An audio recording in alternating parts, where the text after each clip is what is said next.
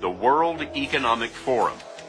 Founded in 1971, the World Economic Forum is an international private organization which receives billions of tax-free dollars from its members and their global enterprises.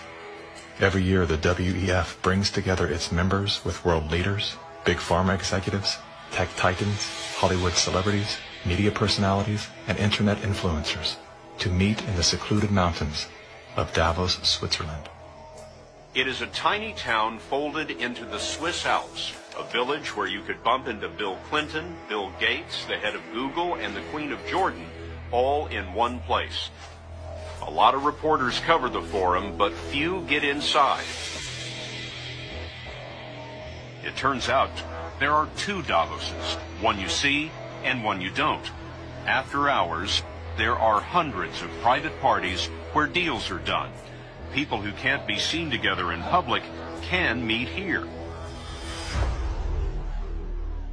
Your Royal Highnesses, Excellencies, distinguished heads of state and government, the future is built by us, by a powerful community as you here in this room.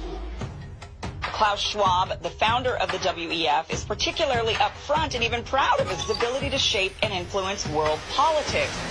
I created the